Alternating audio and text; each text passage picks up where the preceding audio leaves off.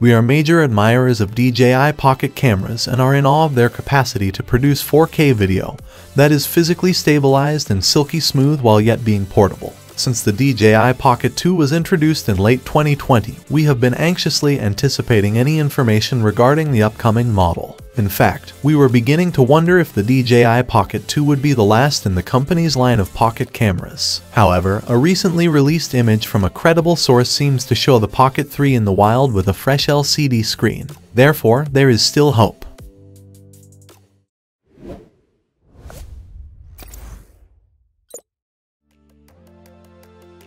Quadro News shared the picture on X formerly known as Twitter with the simple caption, How interesting that DJI is testing Pocket 3 after all, together with a leaked picture that appears to show a DJI staff operating the camera, and it has a larger rear screen. Upon close inspection, it becomes apparent the screen is oriented in a landscape format. This orientation caused it to extend beyond the typically slender design of the Pocket camera series, resembling a stick-like shape.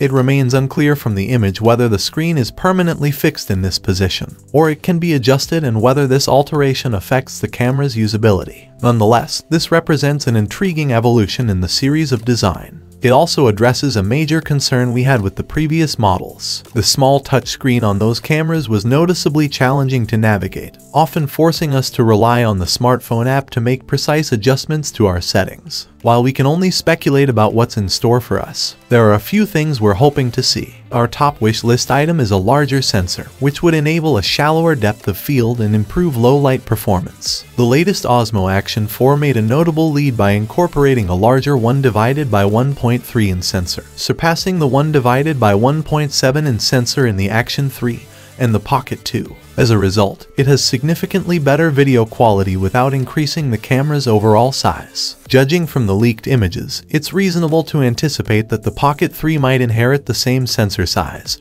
rather than the one in sensors some of us have been hoping for, which would require a bulkier camera body. If DJI somehow manages to integrate a larger 1 divided by 1.3 in sensor without having to expand the camera's dimensions alongside a more spacious screen for improved viewing, the Pocket 3 could potentially become the go-to pocket-size vlogging camera. Hopefully, we won't have to wait too much longer to get the full details. The DJI Pocket 2 boast an impressive 4K 60fps recording capabilities. So, an enhancement to 100fps or 120fps for high-quality slow-motion footage would be a welcome addition. Again, is challenging to ascertain from the image alone but it does appear that the new model might have slightly larger dimensions compared to its predecessor. This potential size increase could translate into more space to accommodate a larger battery pack. The Pocket 2 featured an 875 mAh battery that delivered up to 140 minutes of usage, so a bigger battery could potentially offer an even more remarkable runtime.